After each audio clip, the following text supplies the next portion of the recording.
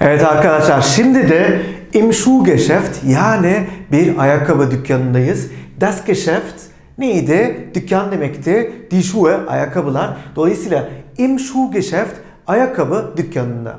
Ee, dilerseniz öncelikle bir cümlelerin üzerinden geçelim. Ee, anlamadığımız kelimeler varsa bunların da üzerinden bir geçmiş olalım arkadaşlar.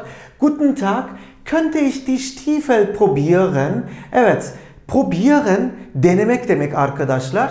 Ee, die Stiefel, die Stiefel de arkadaşlar çizme demek. Çizmeleri deneyebilir miyim acaba şeklinde model fiilimiz können ne olmuş? Könnte olmuş. Dolayısıyla acaba çizmeleri deneyebilir miyim diyecek olursak demek ki könnte ich die Stiefel probieren sorusunu sormuş oluyorum. Ee, bu taraf arkadaşlar satıcı tarafı tıpkı demin olduğu gibi burası da müşteri tarafı. Evet e, satış temsilcisi ne diyor? Ja natürlich. Evet tabii ki. Welche Größe? Welche Größe? Hangi numara deriz ya güzel Türkçemizde. Almanca'da da arkadaşlar hangi büyüklük diye sorulur. Dolayısıyla hangi welche demekmiş? Die Größe de demek ki boyut, büyüklük anlamına gelmiş oluyor. Ja natürlich welche Größe diye bize sorulduğunda würden Sie mir bitte Größe 42 bringen? Evet, würden Sie bringen? Bringen neydi arkadaşlar? Getirmek demekti. Bitte, lütfen, mir, bana. Değil mi? Größe 42 42 numara getirebilir misiniz lütfen diye sorduğumuzda demek ki ne diyormuşuz? Würden Sie mir bitte Größe 42 bringen diye soruyoruz. Evet, satış temsilcisi ne diyor? Gern, seve seve. Einen Moment bitte, bir dakika lütfen anlamına gelmiş oluyor.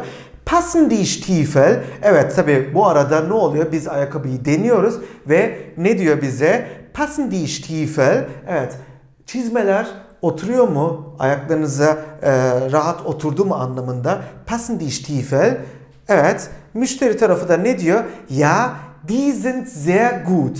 Bakın arkadaşlar die sind sehr gut. Burada kasıt die Stiefel. Ben uzun uzadıya ya die Stiefel sind sehr gut e, demektense die sind sehr gut da pekala diyebilirim. Die nehme ich. Nehmen neydi arkadaşlar?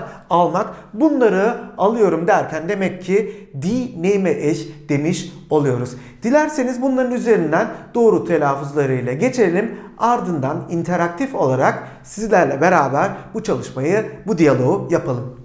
Guten Tag, könnte ich die Stiefel probieren? Guten Tag, könnte ich die Stiefel probieren? Ja, natürlich. Welche Größe? Ja, natürlich. Welche Größe?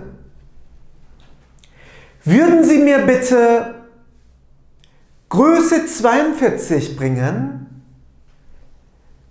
Würden Sie mir bitte Größe 42 bringen?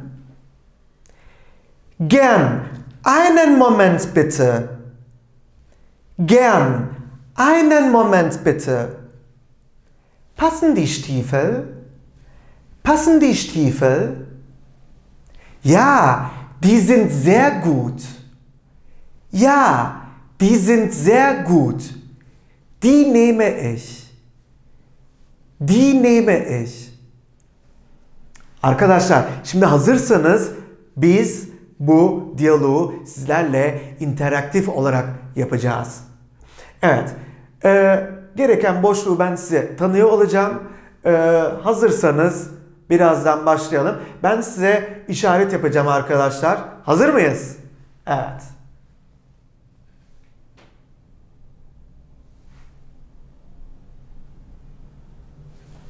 Ja, natürlich. Welche Größe?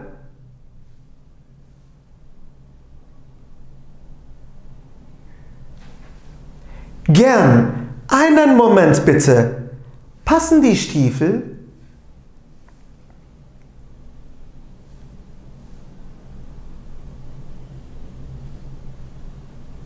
Çok güzel. Dilerseniz bu diyaloğu tekrar edelim. Hazır mıyız arkadaşlar? Evet o zaman başlayalım.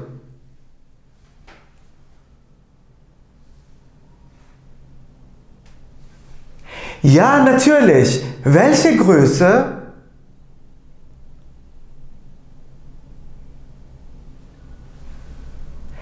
Gern. Einen Moment bitte. Passen die Stiefel?